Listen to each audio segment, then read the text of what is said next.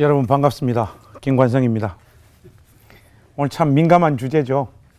어, 에베소스에서 남편을 향하여서는 아내를 사랑하라 그렇게 말씀하고 계시고 아내들을 향하여서는 남편에게 순종하라 그렇게 말씀하고 있습니다.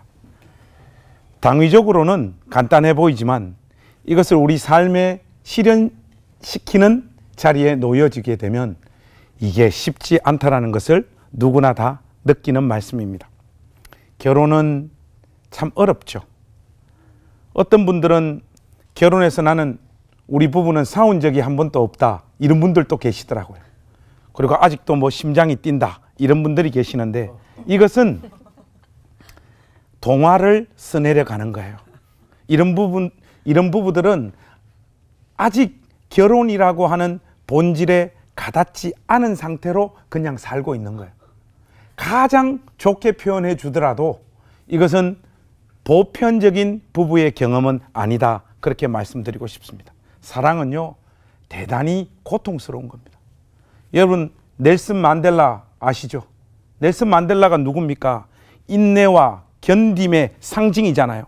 27년 동안 감옥에 수감되어 있으면서 매질과 고문을 매번 겪었고 그 남아공의 사막 40도의 온도에서 강제 노동을 27년 동안 견뎌냈던 사람이 넬슨 만델라입니다.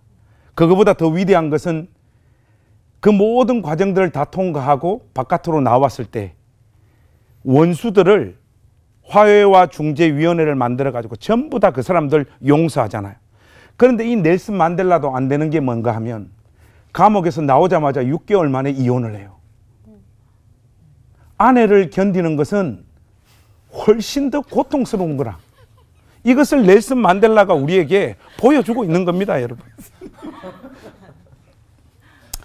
이것을 신앙적인 언어로 표현한 사람이 누군가 하면 윌리엄 블레이크예요. 이 윌리엄 블레이크가 이런 말을 합니다. 결혼은 지옥의 절망 가운데 하늘나라를 세우는 일이다. 이렇게 말해요. 그런데 왜 결혼을 지옥의 절망이라고 말했을까요? 여러분, 결혼은 있잖아요. 성교적인 언어로 표현하자면 타문화권 성교예요.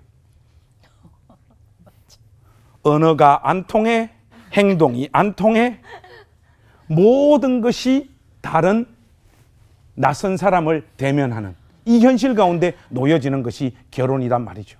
사랑해서 기도하며 신중하게 선택한 사람이 분명한데도 불구하고 그 사람하고 한 공간에 내가 놓여지게 될 때 만나게 되는 그 낯선 현실들이 얼마나 힘겹고 고통스러운지 모릅니다. 그러면 하나님께서 왜 우리에게 이런 결혼을 허락하고 계신 걸까요? 여러분, 결혼이 예수 믿는 우리에게 제공해 주는 가장 큰 유익은 행복이 아니에요. 결혼의 가장 큰 유익은 자기의 모습을 정확하게 확인하게 만들어 주는 것. 이것이 결혼의 가장 큰 유익입니다. 여러분 결혼해 보지 않으면요. 자기의 바닥과 자기의 못남과 자기의 추함을 있는 그대로 확인할 수 있는 그 어떤 경험도 없습니다. 우리는 제법 내가 그래도 예수 믿고 평균은 하는 인간이다라고 그런 정체성을 가지고 우리가 살아가지만 결혼 한번 해보면요. 내 자신이 얼마나 한심하고 못난 인간인가를 여지없이 확인하게 되어집니다. 바로 그 순간 우리 안에 어떤 은혜의 역사가 나타나는가 하면 아, 우리 주님께서 나를 사랑하신다라고 하는 그 사랑의 깊이와 넓이가 어마어마한 것이구나. 자기의 못난과 추함을 진실로 직면한 자만이 그리스도께서 우리에게 쏟아 부으신 그 은혜, 그 사랑의 깊이와 넓이를 그때서야 비로소 절감하게 되어진다고. 그때서야 또 동시에 우리 안에서 어떤 마음이 생성되어지는가 하면 예수님이 우리를 향하여 오래 참으신 그 사랑 가지고 꼭 나 같은 남편과 아내를 나도 견뎌내야 되겠다라고 하는 결심을 하게 되어진다고. 그래서 여러분 결혼의 목적을 한 문장으로 한번 이야기해 보라 하면 저는 이거라고 생각해요. 아, 역시 우리 주님밖에 없구나. 그걸 깨닫게 하는 것이 바로 결혼입니다. 이 올포원을 시청하고 있는 모든 시청자 여러분, 여러분의 결혼 생활이 좀 어떻습니까? 고통스러운 결혼입니까? 포기하고 싶은 결혼입니까?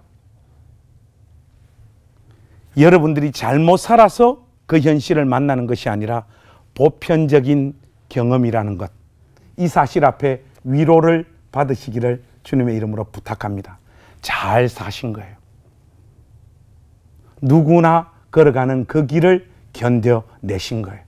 여러분들에게 마지막으로 이 부서지는 발음으로 영어 문장 하나 던지고 오늘 저는 제 설교를 마무리할까 합니다. 여러분 고린도전서 13장이 사랑장이잖아요. 그 사랑은 오래 참는 거라고 했잖아요. 영어 성경으로 보니까 love is a long suffering. 사랑은 긴 고통이라는.